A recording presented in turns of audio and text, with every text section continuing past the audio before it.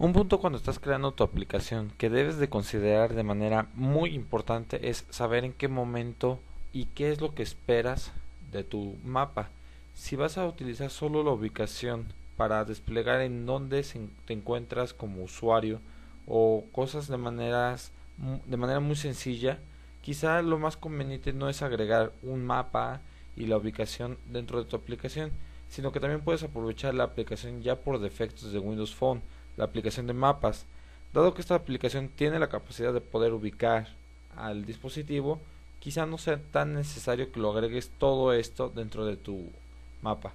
En este caso tú puedes aprovechar dos grandes ventajas con la aplicación de mapas. Número uno, puedes hacer que tu usuario sea capaz de buscar un lugar sin tener que meter un servicio de geocoding a tu aplicación ni una infraestructura demasiado ostentosa. La segunda es de que puedes mostrar una ubicación específica dentro de tu aplicación de mapas sin tampoco necesitar el mapa y el acceso al GPS dentro de tu aplicación. Para hacer esto puedes crear una nueva aplicación Windows Phone y colocar un botón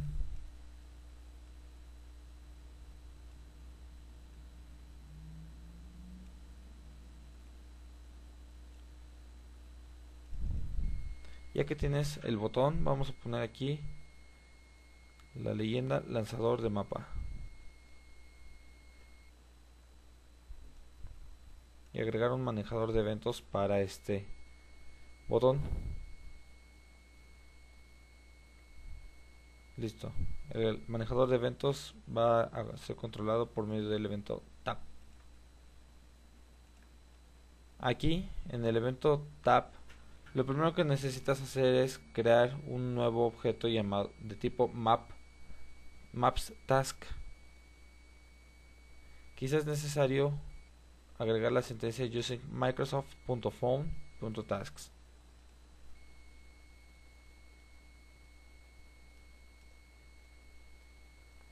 ya que tienes tu objeto simplemente crea la instancia.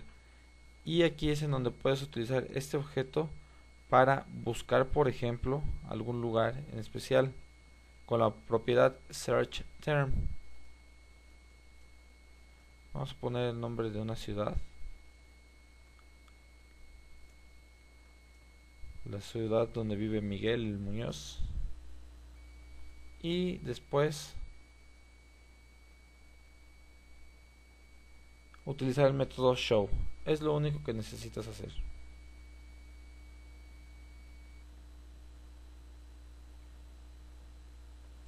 Ah, estaba ejecutando la aplicación antes así que para restablecer los valores voy a limpiarla.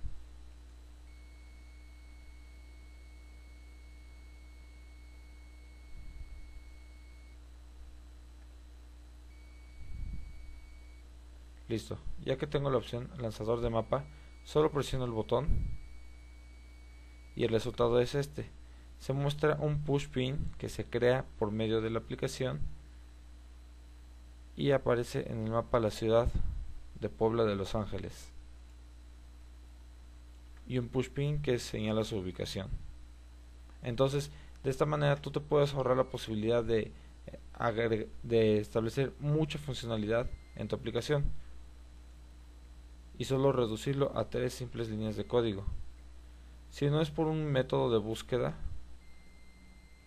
puedes establecer un centro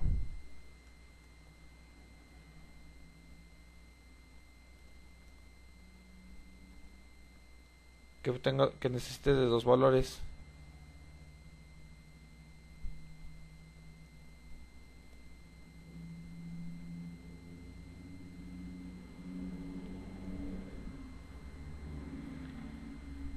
Ya que estableces el centro también puedes establecer el nivel de zoom como en los ejemplos anteriores pero para esta tarea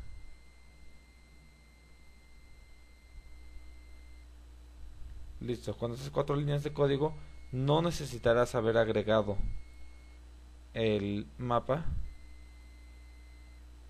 para poder mostrar una ubicación de tipo GPS dentro de tu mapa.